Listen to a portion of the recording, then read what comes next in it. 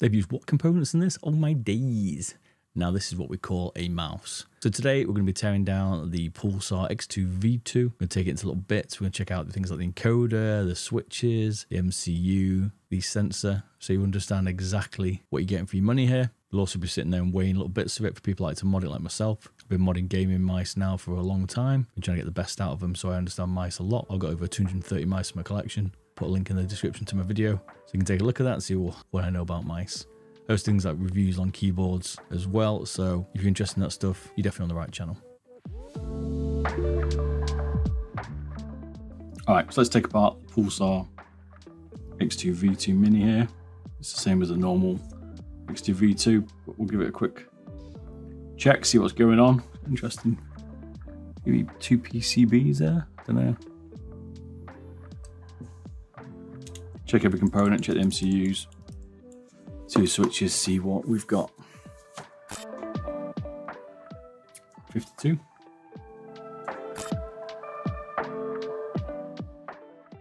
They don't curl too much. A little bit, but they'll definitely go flat and they're rounded off the bat. Not like Logitech's. Where you buy stock and you've got to basically uh, basically got to put new skates in it straight away out of the box. Brilliant. Quite thin. 0.7.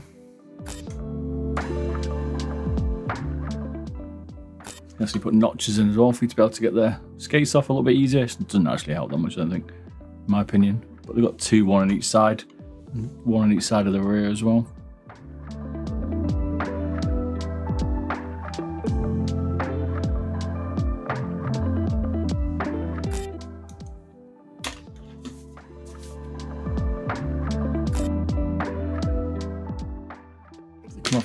Easy.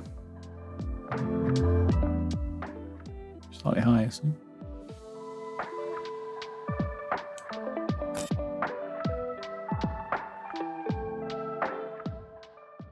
Two screws to take out. Front has got none, so must be clipped. So it's a standard, uh, pretty standard screwdriver.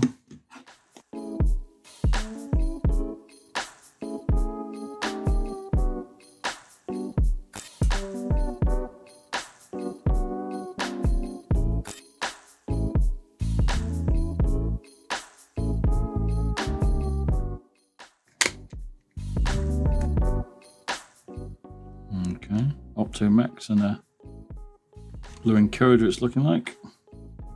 Interesting uh, PCB, but they're trying to brace it basically. That's why it's probably a little bit firmer. Even with it braced, maybe with the shell, but you still get, like, you'll still get some movement, you see at the top. Unless you like fully, like, get that distance right, you still get a little bit of play in it, so.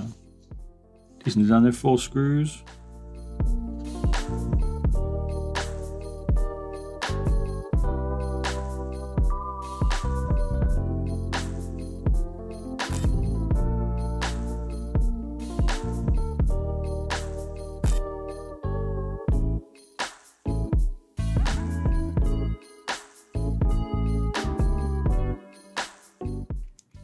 That at the same time. So Huano black shell white dots.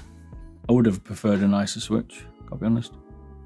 In the uh, sides, I don't find them particularly nice. They're probably the only ones maybe that have a dog leg configuration. These are quite a hard switch to get. This dog legs pin setup. So it's a lift up connector as well.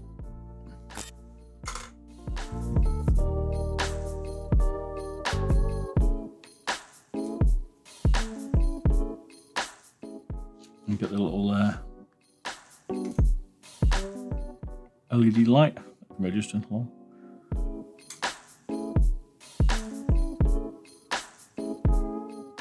So the difference between like us trying to make weight reductions and someone who I guess is trying to not get a lot of RMAs, so I can kind of get away with it, but they can't.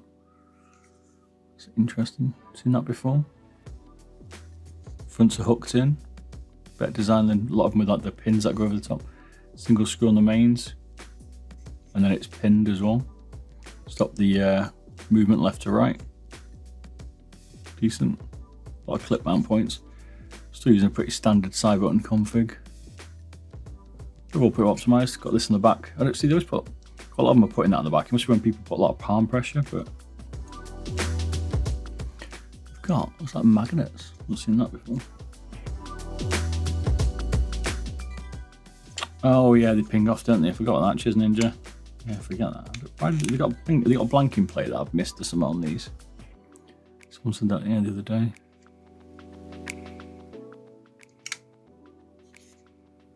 The only thing I could think of is got some weird blanking plate. First time I've seen that, apart from the G Pro wireless.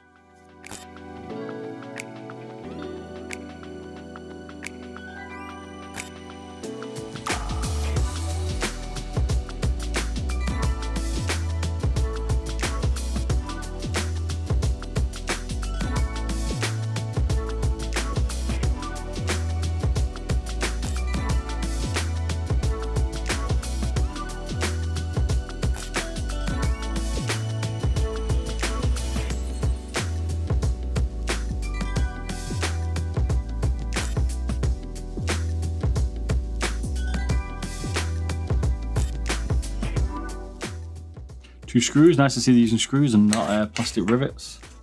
You know what I mean? Just like comfort grooving them. Subtle, but it is there. Decent thickness as well. Sometimes it can be a little bit too flexy, but when they try and lighten them up, this one's not bad.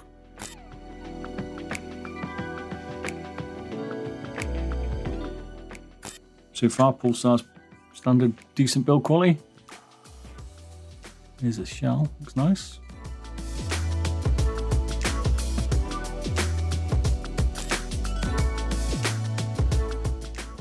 Still 12 grams. No one's making lighter shells at the minute.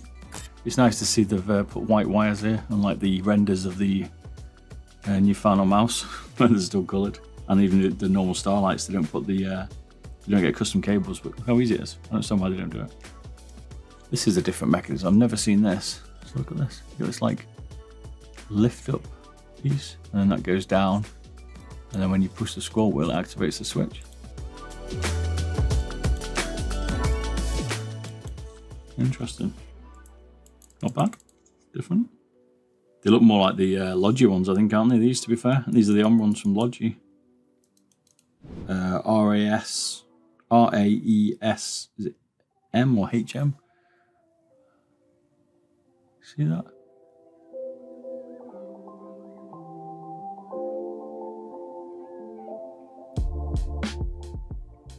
A little bit mushy for me. Still not, not the best. And the most of pre-travel is in the switch. Like on the plunger, like that there's all pre. Switch is actually there.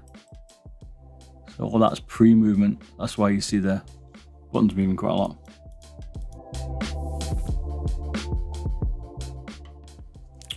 I was hoping that come off in one piece, but nope. So 300.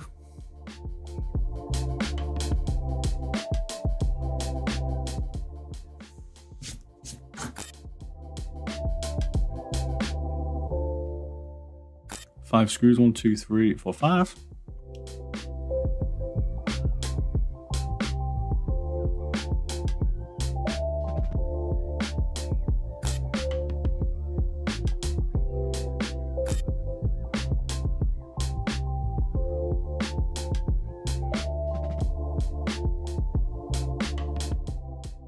It's a bit of a tight fit this. Got uh, bearings on it. What the hell? I've never seen that. That's definitely a first. This is a nice scroll wheel setup. So I Pulsar uh, stepping it up, man. Like I said, I don't know who they are. Yeah, it's got bearings on it. the hell?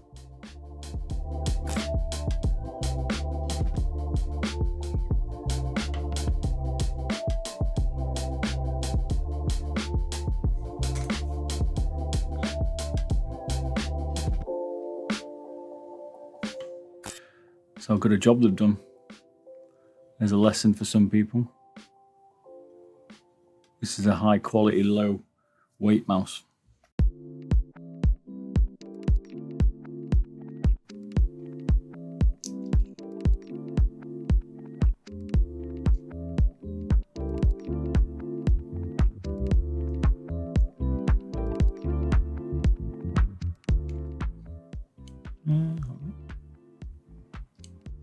So first thing that rages me, they're using a Huano blue dot. They use white dot on the uh, side, so please use the same switches.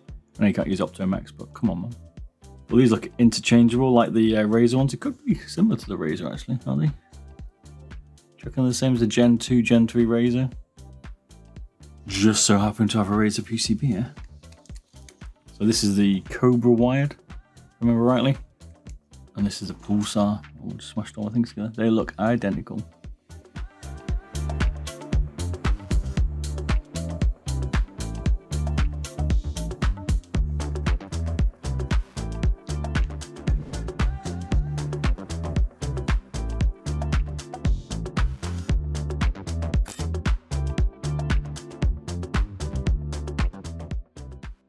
Try a in it.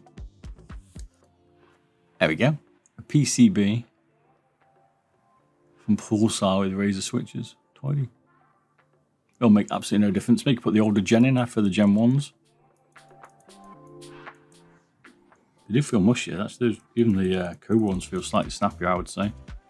But yeah, okay, interesting. So at least you know you can put Razer switches in it now if you want. We've got plenty of them lying around. And you can actually buy them, can't you, in Ali Express? There's plenty of them. So you could maybe get some different clicks in it. You need slightly tighter switches.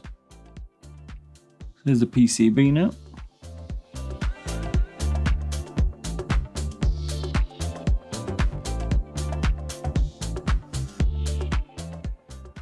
Here's the encoder. It's a blue one.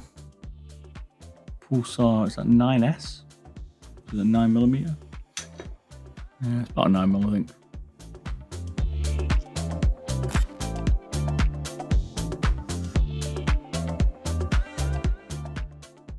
So we're rocking. Sensors a PW3395, and I can't tell the rest because it's got a little glue on it or something. So that's a shame, but never mind.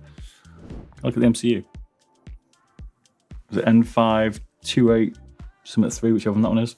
It's a decent one anyway. Here's what the base looks like. Got some buttons in it.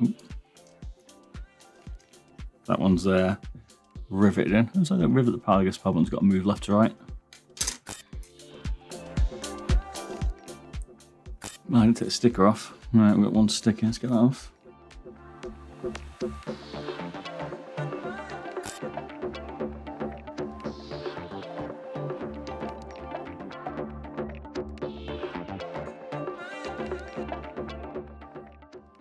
I mean, overall, I think this is built pretty well. I, like, I love the scroll wheel. A scroll wheel and the, the, way the bearings are and stuff. That's that's nice. That is a that's a nice scroll wheel.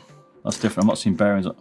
Switches, I think the, I don't particularly like the Optomex in this. I think they're a little bit mushy, but you could swap them out for some other Razer Gen versions, although I find them mushy as well.